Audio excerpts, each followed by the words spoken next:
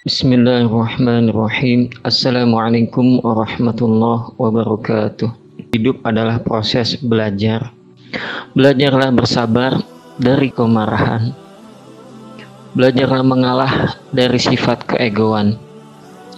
Belajarlah tersenyum dari suatu kesedihan. Belajarlah rasa ridho dari kehilangan sesuatu. Dalam menempuh kehidupan ini, kita harus banyak belajar. Belajar bersyukur meskipun tak puas. Belajar ikhlas meskipun tak rela. Belajar taat meskipun untuk melaksanakannya terasa berat.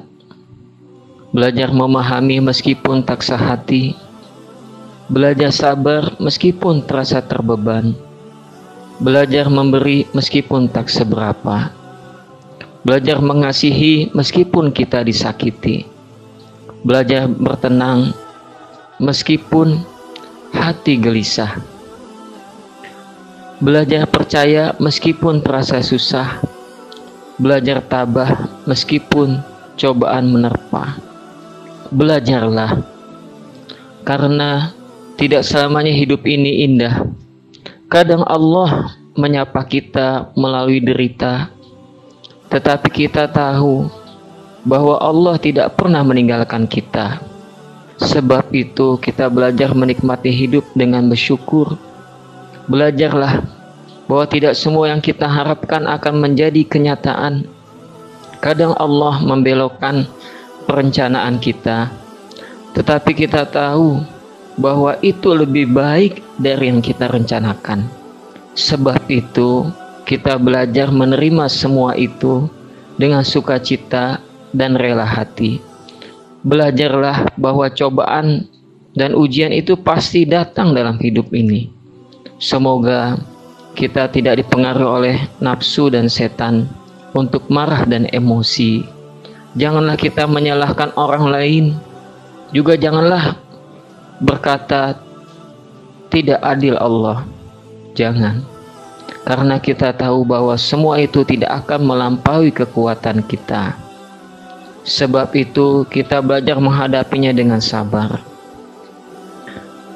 Belajarlah bahwa tidak ada kejadian yang harus disesali dan ditangisi, karena semua rencana Allah itu indah bagi kita.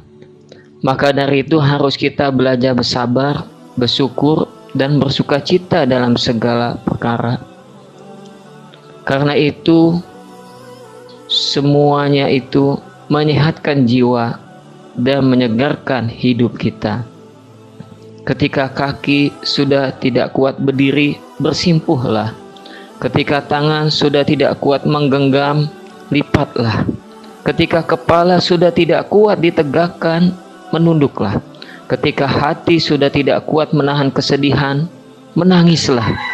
Ketika, ketika hidup sudah tidak mampu untuk dihadapi, berdoalah. Allah selalu setia bersama kita dan apa saja yang kita minta dalam doa dengan penuh keyakinan, pasti Allah akan menerimanya.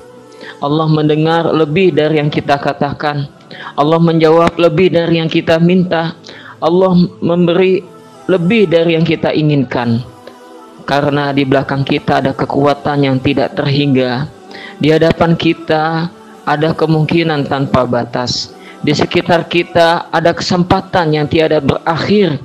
Malah lebih dari itu dan dalam hidup kita senantiasa ada Allah yang selalu bersama kita. Ingatlah, cinta Allah itu abadi, tidak berawal dan tidak berakhir. Marilah kita belajar bersabar dan bersyukur selalu kepada Allah. Billahi taufiq wal hidayah. Wassalamualaikum warahmatullahi wabarakatuh.